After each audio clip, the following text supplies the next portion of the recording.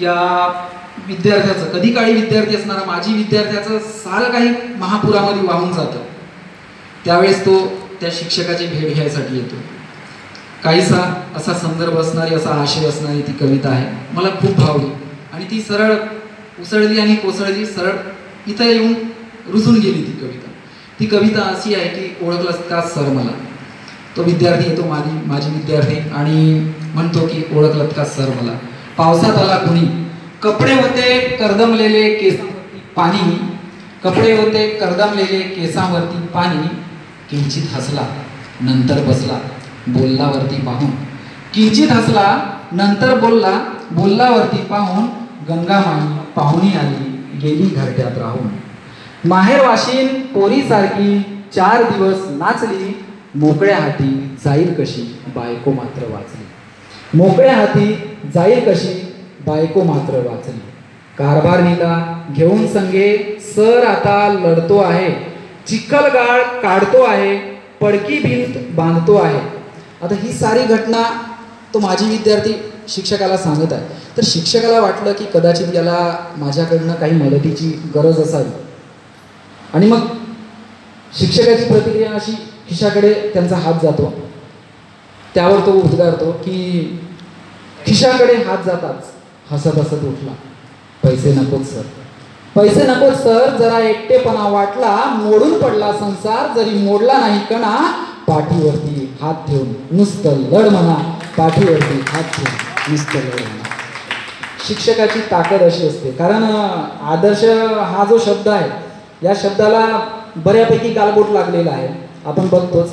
आणि आमच्यामध्ये सुद्धा जे बरेचसे शिक्षक जे आदर्श शिक्षक म्हणून गणले जातात तर त्यांच्याकडे पाहण्याचा दृष्टिकोन सुद्धा बऱ्यापैकीच त्याला काय म्हणू? हा. तो शब्द वापरावा असं नाही वाटलं. परंतु व्हॉट्सअप युनिव्हर्सिटी इथून सुद्धा कधी कधी काही काही खूप चांगल्या कविता मिळतात. आपण कधी कधी इकडून आला का तिकडे पाठवून देतो. काही कविता अशा आहेत शिक्षकावरचीच एक हिंदीमधची कविता आहे, या कवितेचा, कवी कोण आहे हे मला माहीत नाही. तर, साधारण से हिंदी कविता है साधारण से दिखने वाले शिक्षक को एक आदमी ने पूछा, क्या करते हो? तो शिक्षक ने बड़ा ही सरल जवाब दिया, सुंदर सुर सजाने को साज बनाता हूँ, सुंदर सुर सजाने को साज बनाता हूँ, नौसिखे परिंदों को बाज बनाता हूँ चुपचाप सुनता रहता हूँ, शिकायतें सबकी, तब दुनिया बदलने की आवाज़ बनाता हूँ। तब दुनिया बदलने की आवाज़ बनाता हूँ। समंदर तो परखता है हौसले कश्तियों के। अरे मैं डूबती हुई कश्तियों को जहाज़ बनाता हूँ। मैं डूबती हुई कश्तियों को जहाज़ बनाता हूँ। बनाए चाहे कोई चाँद पे बुर्जे खलीफा। दुबईला बुर्जे खलीफा नावाची अतिशय उत्तुंग इमारत आहे। बनाए चाहे कोई चाँद पे बुर्जे खलीफा, अरे मैं तो कच्ची ईंटों से ही ताज बनाता हूँ। अरे मैं तो कच्ची ईंटों से ही ताज बनाता हूँ। ना सीखने आना तुम मुझसे जंतर जुगाड़ के, ना सीखने आना तुम मुझसे जंतर जुगाड़ के। अरे मैं तो मेहनत और लगन से रिवाज बनाता हूँ। मैं मेहनत और लगन से रिवाज बनाता हूँ। नजमी ज्योतिषी छोड़ दो तारों को तकना तुम। बरेच ज्योतिषाकडनं भविष्य बघतात. नजमी ज्योतिषी छोड़ दो तारों को तकना तुम. है जो आने वाला कल उसे मैं आज बनाता हूँ. है जो आने वाला कल उसे मैं आज बनाता हूँ. धन्यवाद. थोडा पसारा झाला.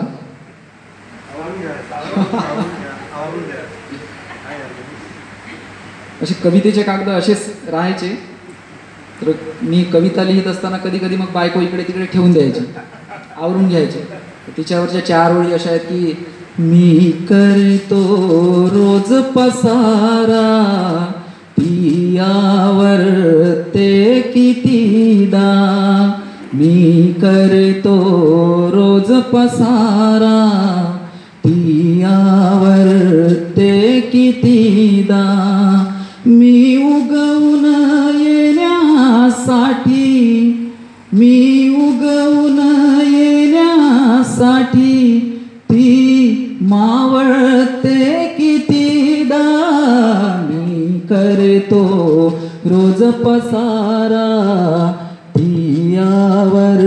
ते कितीदा हा संसाराचा गाडा दोघांनी ओढायाचा. लटक्या रागाने कधी ती सावरते कितीदा मी करतो रोज पसारा. तियावर ते कितीदा बायको ही अशी असते. माना की जरा सायको होतीये बायको तो बायको कारण कसं आहे? कारण ज्यावेळेस एखादी व्यक्ती आपल्या कारचा दरवाजा खूप प्रेमानं खोलतो असं म्हणतात की ज्यावेळेस एखादी व्यक्ती आपल्या कारचा दरवाजा खूप प्रेमानं खोलतो त्यावेळेस त्या गोष्टीला म्हणजे दोन गोष्टी कारणीभूत असतात. एक तर कार तरी नवीन असते म्हणजे बायकोसाठी तो दरवाजा खोलतो नाही का? एक तर कार तरी नवीन असते नाही तर बायको तरी नवीन असते. या ना. नरेश यांना तुझं स्वागत करायचं एक मिनिट. पुन्हा एक बाबू आयटम हो. अ, विजय वाटेकर सर तथा लोमेश्वर येलमुले सर हे माझं स्वागत करतील. पुन्हा एक बाबू आयटम जिगरी मित्र आहे माझा खास मित्र आमचा खास मित्र नरेशकुमार नरेश कुमार बोरीकर अत्यंत भावस्पर्शी कविता लिहिणारे कवी तसेच आमच्या फेनिक्स साहित्य मंचाचे सचिव या कार्यक्रमात फेनिक्स साहित्य मंचाद्वारे आम्ही याचं सहर्ष स्वागत करतो.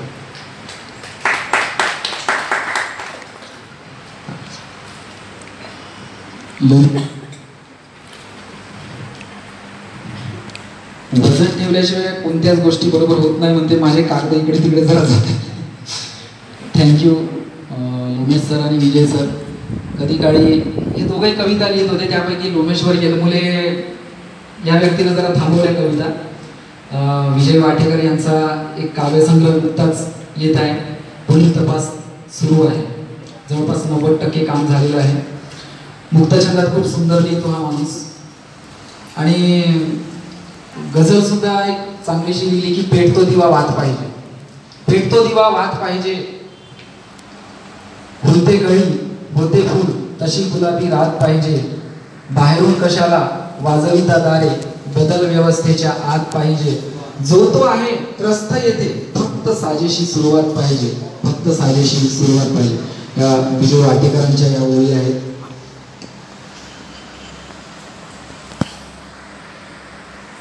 दादा बसू का इकडे? बिलकुल बिलकुल. कारण हे उडत आहे. तुझा मंच आहे तू कसाही वापर.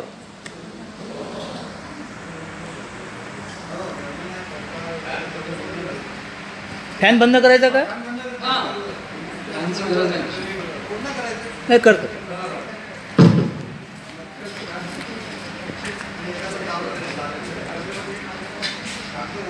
हा, उडत आहे.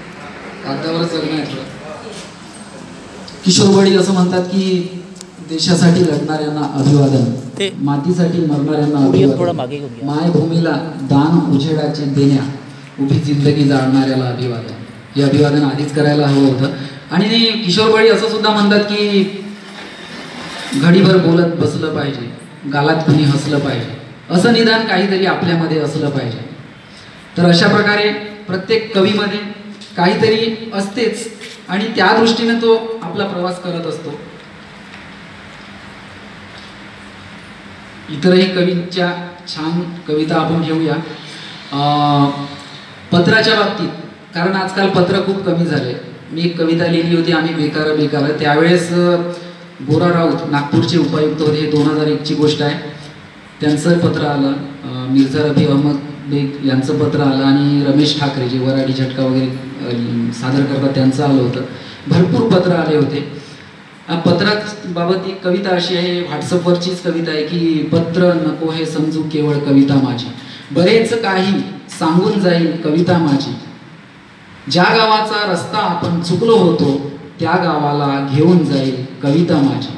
आठव अपुल्या उत्कट भेटी आतुर शपथा पुन्हा एकदा व्याकुळ होईल कविता माझी. ज्या गावाचा रस्ता आपण चुकलो होतो त्या गावाला घेऊन जाईल कविता माझी.